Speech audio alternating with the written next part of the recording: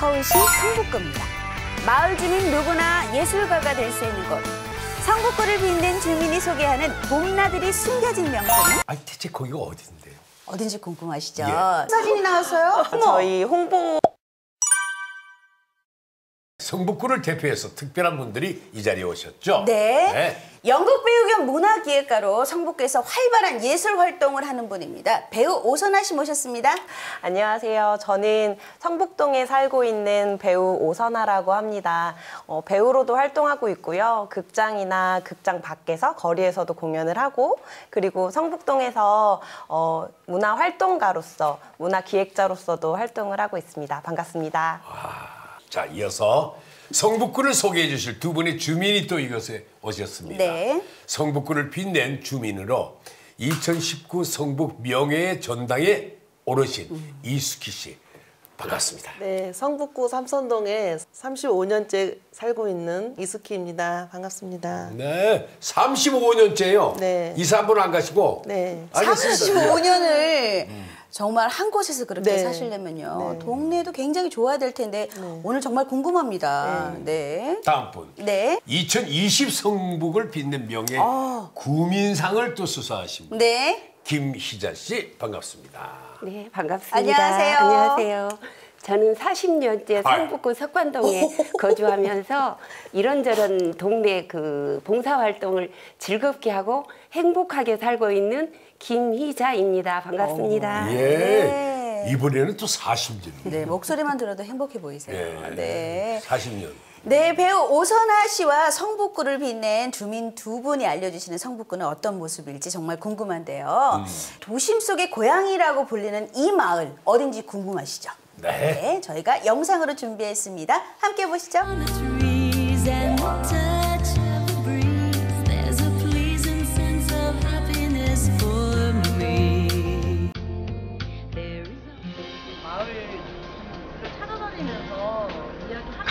도 없이 그저 쌀이라는 글자만 덩그러니 남아있는 허름한 가게 앞에 책상과 의자를 내놓고 앉아있는 사람들. 이들 중에 오늘 삼태기 마을의 안내자가 되어줄 배우 오, 오선아 씨가 있습니다. 오, 배우 겸 문화 기획가로 바쁘게 살아가는 오선아 배우는 몇 년 전부터 이곳 삼태기 마을에서 동료 예술가들과 함께 재미난 일들을 벌여가고 있다는데요. 일단 이 알 수 없는 가게의 정체는 무엇일까요? 사실 이 공간이 전에 순천 상회라고 실제 쌀집이었어요. 근데 저희 이제 동네 예술가들이 같이 이 공간 아홉 명이서 운영하기로 했는데 쌀을 그대로 살리고 영어로 하면 SSAL이에요. 서울 상월곡 아트 라운지. 이래서 쌀도 그대로 살리고 저희 의미도 같이 살려서 쌀이라는 이름으로 어, 이 공간을 운영하게 되었습니다. 그 뜻이 쌀이군요. 공간 쌀. 대체 이곳에서 뭘 하는 건지 아 그거 궁금해집니다. 아홉 명이 운영한다는 게 저희가 공동 출자금을 같이 같은 금액으로 내서 이 공간을 임대한 거거든요. 그래서 앞으로 6시부터 10시까지 이런 예술 펍 그래서 같이 맥주도 먹고 음식도 나눠 먹을 수 있는 그런 공간을 운영할 거고 6시 이전이나 10시 이후에는 예술가들이 조금 자유롭게 드나들면서 예술 작업도 하고 마을 주민들한테 공간을 내어주기도 하고 이런 공간으로 조금 운영해 보려고 계획 중에 있고요. 어, 앞으로 무궁무진하게 어떤 일이 벌어질지 좀 잘 모르겠어요. 아 쌀집을 저렇게 개조해가지고. 직접 손으로 다 하시네. 네. 어, 회원들이 다. 싱크대까지 다 만들었어요. 다 제작했어요. 돈이 없어가지고. 공간을 꾸미는 것도 다른 사람들의 도움 없이 모두 직접 한다고 합니다. 그래도 몇 해째 함께 부대끼며 정을 나눠온 지역 주민들도 많다는데요. 동네로 들어온 예술가와 오랫동안 동네를 지켜온 주민들이 서로 이웃이 되어 어울리고 있는 거죠. 처음부터 이렇게 친하기는 쉽지 않죠. 아무래도 어, 그게 쉬운 일은 아닌 것 같아요. 근데 동네 어르신들을 계속 마주치니까 인사하게 되고 어르신들도 니네 뭐 하는데 무슨 일 하는데 라고 하면서 관심 보이고 하면서 되게 자연스럽게 그냥 이웃이 되는 그런 관계가 형성된 것 같아요. 음, 관심 많으시구나. 이 마을이 처음부터 마음에 들었던 건 아닙니다. 그러나 시간이 흐르면서 삼태기 마을만의 장점을 예술가들은 발견해내기 시작했습니다. 여기는 되게 특이한 게 높은 건물이 없어요. 아파트가 되게 많이 없고 되게 신기한 건 옆에는 고가도로가 되게 크게 있어서 어찌 보면은 되게 우울할 수도 있는 느낌을 받았기도 했는데 처음 왔을 때는 근데 옆에는 훅 이렇게 사람들이 다 이렇게 옹기종기 모여 사- 살면서 뭔가 만들고 있는 거 모습을 보면서 되게 되게 다채롭다고 생각을 했던 것 같아요. 처음. 그 정겨움과 자연스러운 어우러짐은 예술가들을 넘어 함께 살아온 모든 이들을 하나로 만들어 주고 있다는데요. 이제 이 동네에 와서 많은 예술가 분들을 처음 이렇게 접하게 되었는데 되게 자유롭고 어, 제가 이전에서 잘 못 느꼈던 그런 활발함도 좀 느낄 수 있었고 또 어르신들과 이렇게 잘 지내고 뭐 같이 활동하는 게 되게 신기했고 삼태기 마을에서 이제껏 주민과 어울려 함께 동고동락해온 예술가들은 이제 새롭게 꾸려갈 공간 쌀에서 더 큰 꿈을 꾸고 있다고 합니다.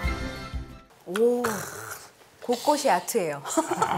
어, 그래요, 진짜. 네. 예, 그걸 또 만드는 만드는 사람들 있잖아요. 네. 참여하신 여러분들의 그 정성이 네?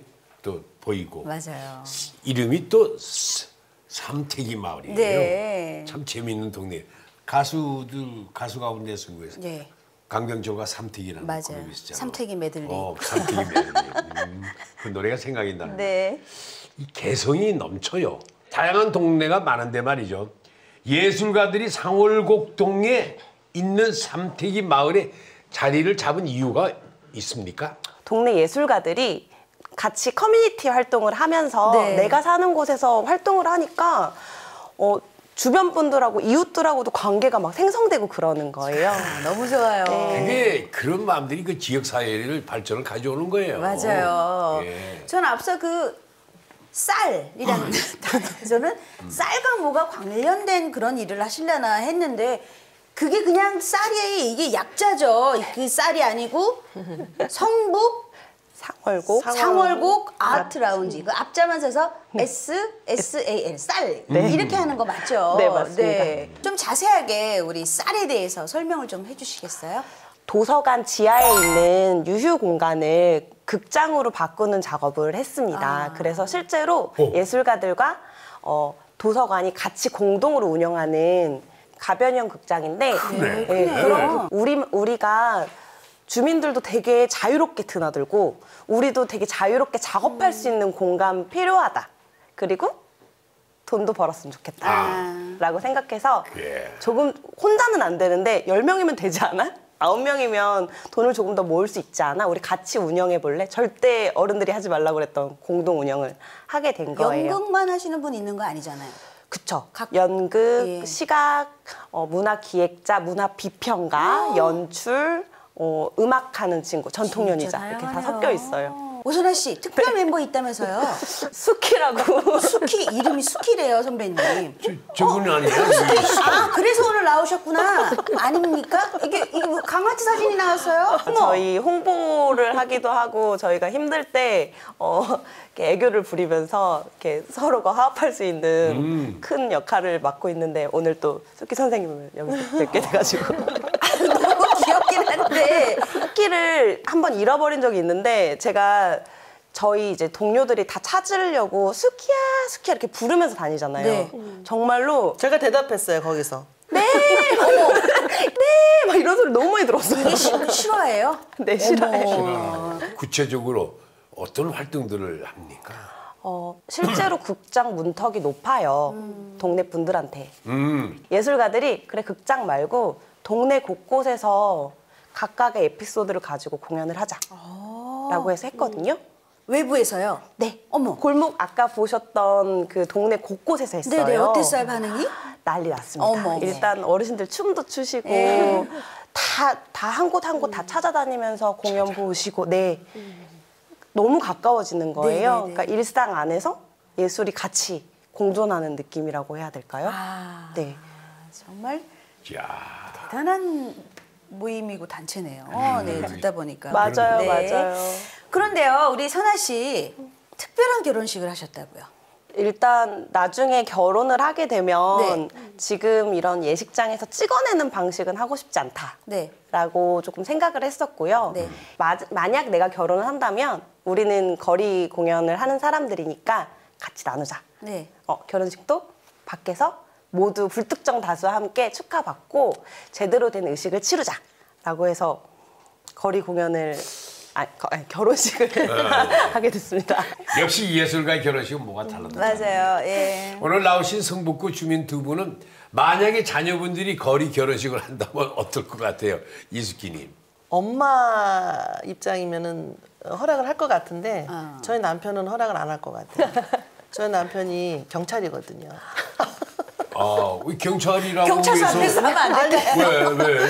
그 거리에서 일단 하면은 하는 일이 너무 많이 생기잖아요. 교통 통제해야죠. 이뭐 사람 아. 통제해야지. 뭐 또 다른 어떤 사고가 발생할 수 있을 그럴 때 수도 뭐 해야지. 있구나. 그러니까 맞다. 직업상 아마 어, 이분하고 앞으로 한 12분만 더 얘기하면 집안 소상이 다 알겠어.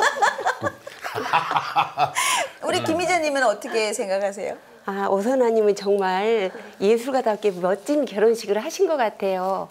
근데 저는 이렇게 돌이켜보면 옛날에는 마을에서 다 이렇게 온 동네 분들이 모여가지고 결혼식을 하잖아요. 그러면 담을 넘어서 구경도 하고 맞아요. 또 같이 음식도 나누고 그랬어요. 이런 모습을 생각하게 돼요. 그래서 우리 오선아님처럼 저는 앞으로도 이렇게 소규모로 이렇게 마을 결혼식이 많이 이루어지면 좋겠다는 생각을 해봤습니다. 네. 누구 아이디어였어요? 그 결혼식을 거리에서 하자라고? 아 제가 제안을 했고 당연히 이제 남편이 좋다. 아. 우리 좀 재밌게 해보자. 네. 어, 되게 힘들겠지만 네. 재밌게 해보자. 성북구에서 활동하는 예술가 부부의 멋진 활약이 앞으로도 이제 기대가 되네요. 네. 삼태기 마을에 또 특별한 공간이 있습니까? 예술가들과 어, 공공기관이 협치를 해서 시민 참여 예산을 통해서 같이 극장을 만들었고요. 그 극장은 사실 예술가가 주인도 아니고 주민 모두가 주인이거든요. 저희 극장에는 극장 지배인이 있습니다. 동네 어르신들, 저희 실제로 살고 계신 주민분들이 직책을 나오셔서- 맡으셨네요. 네, 직책을 맡으셔서 우리 극장에 온 걸 환영한다. 어머. 우리 동네 자주 와라. 공연 재밌게 보고 가라. 안내도 해주시고 덕담도 해주시고 영화도 세상에. 어, 동네 극장은 대체 어떤 것인지 딜라이브 시청자 여러분 궁금한지요. 영상으로 한번 만나보시겠습니다. 보시죠. 오선화 배우가 말하는 극장은 바로 동네 극장이라고 할 수 있는 천장산 우악 극장을 말하는 것인데요. 일반적인 의미의 극장과는 좀 성격이 다르다고 하네요. 너무 크다. 천장사 우화극장은요 성북문화재단이랑 동네 예술가들이랑 성북정보도서관이 세, 세 그룹이 협치라고 하죠 공동으로 운영하는 건데 동네 예술가 활동가들이 이렇게 모여서 도서관 지하에 있는 유휴 공간이 극장이 되고 많은 동네 주민분들이 공연을 보러 오기도 하고 포럼도 하고 토론도 하고 이런 공간이 되었으면 좋겠다라고 해서 주민 참여 예산으로 직접 이렇게 만들었어요. 그 공간을. 그리고 지금 이렇게 같이 운영하고 있고요. 주민이 직접 만들고 운영하는 그야말로 제대로 된 동네 극장의 지배인으로 활동하고 있다는 햇빛님과 연꽃님 부부를 만난 오선화 배우. 영꽃님? 이름도 예뻐요. 아, 집에 있는 여- 내가 이 동네 사고 또 천장산 여기 우화 극장이 극장이 바로 여기 도서관에 있으니까 동네를 위해서 또 우리 발전을 위해서 또 내 스스로 발전을 위해서 이렇게 참여를 하게 되었습니다. 그게요. 그래서 이 나이 들어가지고 집에는 하자 그랬잖아요. 그럴 때는 좀 기쁘더라고요. 아주 또 나이가 있는데 젊게 봐줘서 이제 같이 하자고 그래 하니까 또 즐겁대다 하니까 예. 이 삼세기 마을의 대표 인꼬부이신 우리 영권님과 햇빛님을 보니까요 참 이분들 같은 두 인꼬 부부가 우리 마을에 이렇게 딱 자리 잡고 계시면은 참 좋겠다 든든하겠다 이런 생각이 들었는데 두 분 어떤 분이세요? 연꽃님이랑 햇빛님은 닉네임이에요. 그쵸. 저희가 조금 더 가까워지려고 서로 이름 대신 닉네임으로 서로 부르고 있습니다. 마을 어르신들의 반응은 또 어땠나요? 코로나 때문에 저희가 작년에 공연이 많지 않았어요. 네. 근데 지역이라는 게 같은 마을이라는 게 장점이 있더라고요. 저희가 집을 찾아갈 수가 있는 거예요. 그래서 줌도 설치해드리고 네. 이야기도 하고 네. 그걸로 수업도 해보고 네. 서로 조금 어, 돌보게 되고 그러다 보니까 어르신들도 아 더 하고 싶다. 우리 또 언제 모여? 우리 빨리 모이자. 어, 우리 빨리 만나자. 이렇게 되더라고요. 그 극장 가보셨죠 이수빈 씨? 어르신들도 많이 오는 극장이다 보니까 뭔가 좀 푸근하다 그럴까? 어, 극장 냄새가 아닌 예. 들어갈 때 팝콘도 팔아요?